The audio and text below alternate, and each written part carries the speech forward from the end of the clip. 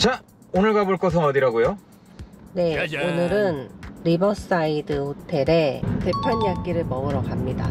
아니 원래 리버사이드 호텔은 나이트 가야 되는 거 아니야? 리버사이드 호텔은 원래 우리가 뷔페를 두 번을 갔었는데 오늘은 미슐랭 two star 네. 셰프님이 어. 진행하는 카와베 데판야끼라고 거기에 저희가 초대를 받았어요. 박수.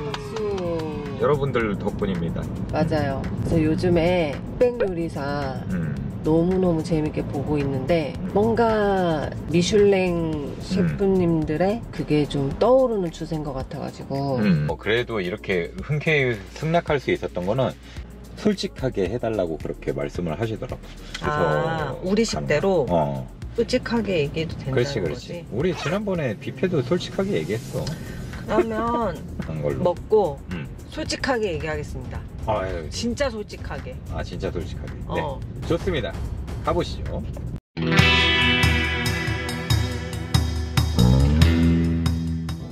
안녕하십니까 맛집 레알 reviewer 후슐랭 가이드입니다. 오늘은 리버사이드 호텔 카와베 데판야끼에서 식사 초대를 해주셔서 방문해보고 있는데요. 원래 이런 초대는 잘 수락하지 않는 편이지만 일본 긴자에 미슐랭 two star를 받은 우카이테이에 철판 요리장인 다이시마 리우즈 셰프를 총괄로 모셔왔다는데 여러분들도 아시다시피 미슐랭 two star는 멀리 있어도 찾아갈 만한 가치가 있는 식당이라고 하잖아요. 솔직히 어떻게 나올지 궁금하기도 하고 최근에 흑백 요리사를 통해 fine dining에 대한 관심도도 높아지는 추세라 여러분께 소개해드려도 될 것 같아 이렇게 방문을 결정하게 되었습니다. 언제가 될진 모르겠지만 구독자 10만이 되면 구독자에 한해 고급 식당 초대권 이벤트도 한번 진행해 볼 예정이니 많은 관심과 성원 부탁드리겠습니다.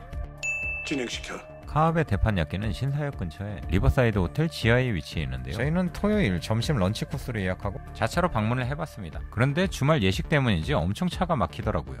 토요일 날 주말에 오시는 분들은 좀 여유 있게 오셔야 될 것 같아요. 여긴 이용객에 한해 주차는 3시간 무료이지만 대신 발렛 비용 5,000원 내셔야 합니다. 괜찮아요? 많이 놀랬죠? 리버사이드는 그 옛날 나이트로 유명했다는데 지금은 가성비 있는 뷔페와 식당들이 유명한 삼성급 호텔에 속해 있고요. 여기 뷔페는 몇 번 방문을 해봤는데 리뉴얼이 되면서 퀄리티도 많이 좋아졌습니다. 카와베 데판야끼는 여기 뷔페 바로 밑에 있는데요. 찾기는 살짝 어려웠지만 LED 전광판으로 찾아낼 수 있었습니다. 실내로 들어가면 직원분이 예약자를 확인하고 자리 안내를 해주시고요. 예약은 캐치 테이블 앱과 네이버로 할 수가 있는데 네이버 예약은 10% 할인이 되니까 예약은 네이버를 이용하시는 게 지갑 건강에 좋을 듯 합니다. 그리고 식당은 지하 1층에 있었는데 1층은 스키야키를 하는 곳이고 지하층은 대판야키를 하는 곳으로 구분되어져 있었고요. 너무 어두운 환경일까 걱정도 왔었지만 생각외로 인테리어나 조명이 상당히 세련된 느낌이어서 뭐 답답한 느낌이 들거나 그러지는 않았습니다. 내부는 단체로 이용할 수 있는 룸과 6명이 앉을 수 있는 철판 전용 테이블 12개 정도가 있었는데 상당히 고급스러운 분위기가 기분이까지 좋게 만들더라고요. 기분이 좋거든요. 점심 메뉴는 총 8개 코스로 가격은 12만원이었고 디너는 일본 닭새우인 이세비가 추가돼서 19만 8천 원이라고 합니다. 첫 번째로 나온 건 전채 요리인데요. 가지와 토마토, 치즈, 성게알, 연어알 등이 들어가 있었는데 확실히 퀄리티가 상당히 좋아 보였습니다. 그렇다면 과연 맛은? 차갑고 되게 상콤한데 파프리카 향이 좀 강한 이 가지 냉채 같은 에피타이저는 고소하면서도 시원한 톡 터지는 연어 알에서 상큼한 산미도 느껴지면서 입안에 침샘을 자극하는 맛이었는데요. 식전 에피타이저로 되게 좋다.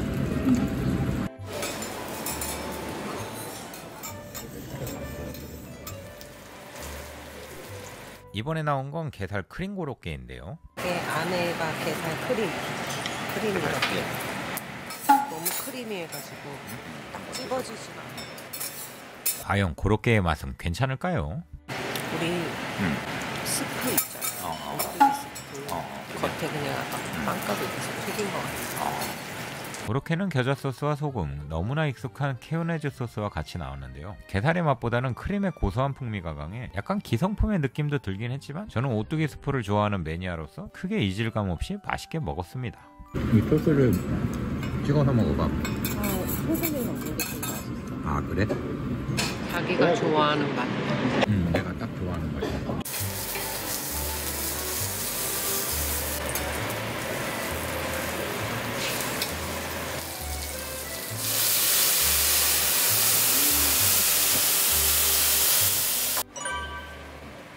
이번에 나온 건 black tiger 새우인데요.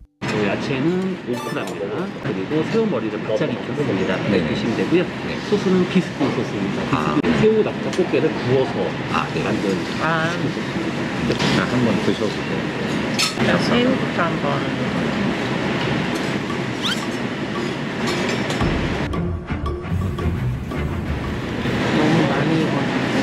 블랙타이거 새우는 일반적인 새우와는 달리 육질이 탱탱하다 못해 식감이 강한 게 특징인데요. 굵기 정도를 중요시하는 소마님은 질기게 느꼈지만 저는 식감이 있는 걸 좋아하는 편이라 그냥 맛있게 잘 먹었습니다. 그리고 오크라는 저도 이번이 두 번째 경험인데요. 약간 맛은 고추의 향과 가지의 식감이 느껴지는데 가격은 일반 고추보다 3배는 더 비싼 채소라 식재료 자체에도 신경을 많이 쓰신 게 느껴졌습니다.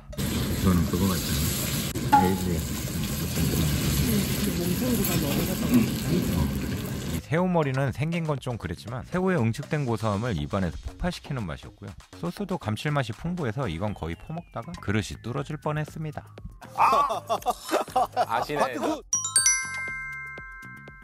이번에는 제철 해산물로 만든 파피오트인데요.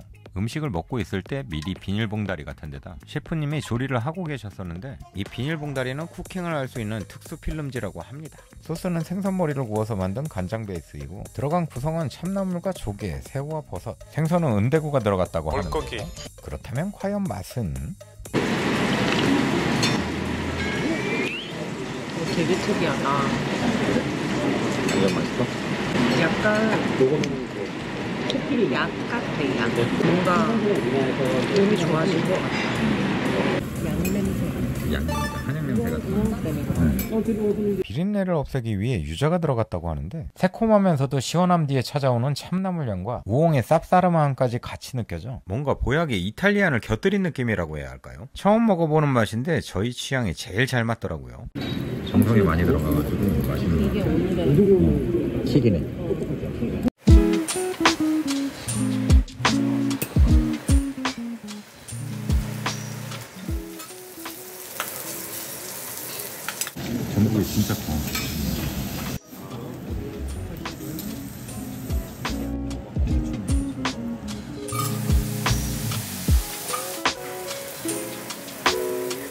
짜잔, 내가 돌아왔다. 이번에는 조리 시간이 무려 30분이나 걸린 전복찜인데요 이건 시간이 많이 걸리기 때문에 식사가 시작될 때부터 한쪽에서 이미 조리를 하고 계시더라고요 옆에 사이드에 있는 건 시금치를 구운 건데 대단한 맛은 아니었지만 뭔가 특이했고요 소스는 표고버섯을 갈아 만들었다는데 뭔가 좀 고급진 풍미가 부드러운 전복과 잘 어울렸습니다 전복은 진짜 여들여들한데 이 소스는 그 자극적이지 않아. 처음 먹어보는 맛이라서 어디에 비유를 할 수가 없어. 확실히 재료 본연의 맛에서 크게 벗어나지 않고 자체 개발한 소스와 음식의 조합이 제 개인적으로는 상당히 마음에 들었는데요. 소식자인 소마님은 high-end dining을 많이 다녀봤지만 저같이 양 많이 파들은 뷔페가 좋지 소심하게 주는 음식 자체에서 매력을 크게 느끼지 못했는데 아니 이렇게 조합해서 먹어보니까 아 이래서 dining dining 하는구나 이렇게 한 접시에 여러 가지 맛을 느낀다는 것 자체가 정말 미식의 세계는 끝이 없구나라는 걸 느꼈습니다. 이번에는 메인이라 할 수 있는 육류를 준비해 주시는데요. 1인당 스테이크와 직회야끼 중 하나를 선택할 수 있는데 저희는 다 맛을 보기 위해 하나씩 주문을 해봤고요. 쿠키 정도는 셰프님이 미리 체크를 해주셔서 취향껏 주문하시면 됩니다. 고기의 두께가 얇은 직회야끼가 먼저 등장을 했는데요. 밑에 깔린 건 구운 대파와 아스파라거스, 가니쉬로 육종 마늘과 양파, 그리고 감자칩 같은 게 플레이팅되어 나왔습니다. 그렇다면 과연 맛은? 맛있어? 약간 단짠한 양념에 지면서 구워낸 집게야끼는 고기는 이분하게 잘 구워져 부드러웠고 양념은 닭꼬치 양념과 비슷했는데 그것보단 좀 더 고급진 느낌이었습니다. 녹네. 음. 이거 진짜 맛있다. 마늘이야. 마늘? 이거? 마늘 씹으면 겁나 큰데? 마늘인 것 같아. 어떻게 마늘 맛이 나지? 와 이건 마늘 맛이 나는 감자칩 같은 느낌이었는데 솔직히 살아오면서 이 정도 크기의 마늘을 본 적이 없거든요. 근데 이게 코끼리 마늘이라고 해남에서 나온 거라고 합니다. 와 이거는 주연보다 연기 더 잘하는 조연 같은 느낌이었고요. 음식이 나오는 타이밍이 살짝 있긴 했는데 대판야끼는 또 보는 즐거움이 있어서 기다리는 시간이 그렇게 신경 쓰이진 않았습니다. 대신 여기는 화려한 기교를 보여주는 퍼포먼스는 없었고요. 채끝 등심의 가니쉬는 거의 비슷한데 다른 점은 밑에 단호박이 추가가 되었습니다 체크. 채끝. 소고기 전공인 소마님이 느끼는 스테이크의 맛은 맛있어? 이거 먹었다. 저희는 국민 국기 정도의 미디엄 웰던으로 주문을 했는데 국기 자체도 좋았고 소금만 찍어도 맛있었습니다. 약간 유성이. 그때 소의 그 꼬리탕 위탕 맛있다 그리고 가니쉬 같은 건 원래 잘 안 먹는 편인데 여긴 야채까지도 맛있어서 다 먹게 되더라고요. 특히 이 육종 마늘이 미쳤습니다. 여긴 메인도 좋지만 마늘이 너무 매력적이라 만난 지 얼마 안 된 커플분들은 무조건 각을 챙겨 가시길 권장드리고요. 지금 셰프님이 볶고 계신 건 마늘 볶음밥인데 식사는 두 종류로 일본식 카레와 마늘 볶음밥 중 골라야 합니다. 하지만 저희는 두 사람이기 때문에 두 개 다 주문을 할 수 있었고요.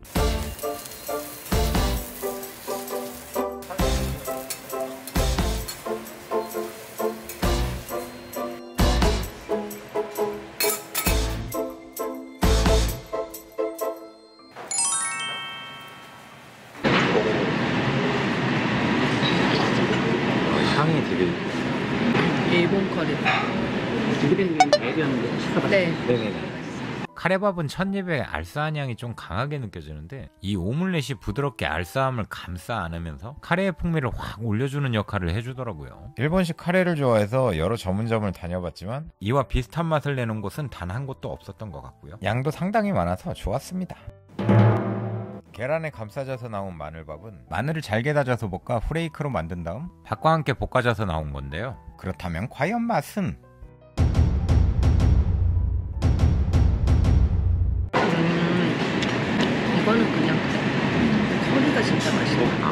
그치 커리 추천해 좀. 계란하고 안 어울려.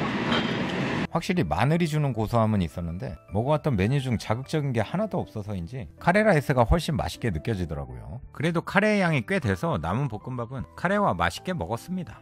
커리가 많은 이유가 있어 같이 나눠서 먹어 지금까지 먹었던 커리는 그랜저였다면은 얘는 페라리나 람보르기니야 그 정도야? 어. 요즘 어떻게 지내냐는 친구의 말에 그랜저로 대답했습니다. 짜잔, 내가 돌아왔다. 마지막으로 나온 디저트는 아이스크림인데요. 뭐 드셔보래 뭐 그냥 아이스크림 아니야 잠깐만. 음, 나는 비주얼 보고 시중 아이스크림일 거라 생각을 했는데 음. 못 먹어본 맛인데. 못 먹어본 맛이? 근데다가 올리브 오일에다 소금까지 했잖아. 어. 뭐 아는 맛이 아니야. 한번 먹어봐. 와 이거는 딱 한 입 먹어보니까 아이스크림이란 게 원래 맛있잖아요. 일반적인 아이스크림이 초코파이라면 여기 아이스크림은 마치 티라미수 케이크라고 할 만큼 진짜 진하고 맛있었습니다. 아니 이거 있으면 사 먹을 것 같은데? 여기서 만든 거 같지 않아? 뭐 백미당이나 우유 아이스크림도 아니야. 응 절대 시중에 없어. 어찌됐든 깨끗하게 클리어. 자 오늘 어떠셨나요? 네, 오늘 정말 맛있었어요. 근데 런치가 1인당 12만원, 디너가 한 20만원 정도 하거든? 맛이 없을 수가 없지 않나? 재료 하나하나에도 많이 신경을 쓰신 것 같고 음. 그거를 처음 먹어보는 맛도 있는데 네, 이게 막 이질감이 있지 않아가지고 너무 좋았던 것 같아요 입안에서 제일 마음에 들었던 메뉴는 뭐예요? 해산물 파피오트. 아 나도 가격도 뭐, 디너는 좀 비싼 것 같고, 양이 더 많겠지? 그 대신? 그렇겠지 근데 런치로 오는 걸 추천하고 싶어. 기념할 만한 날이 있으면은 한번 와보시는 것도 좋을 것 같습니다 한번 인사해 주시죠 아, 네, 여러분. 그동안 맨날 호실랭님이 국밥집이랑 면집만 끌고 다니다가 오늘 이렇게 비싸고 좋은 데서 협찬이 들어와서 왔는데요. 역시 비싸니까 되게 맛있는 것 같아요. 이제 추워졌으니까 감기 조심하세요. 저희는 다음번에 좋은 영상으로 찾아뵙도록 하겠습니다 빠잉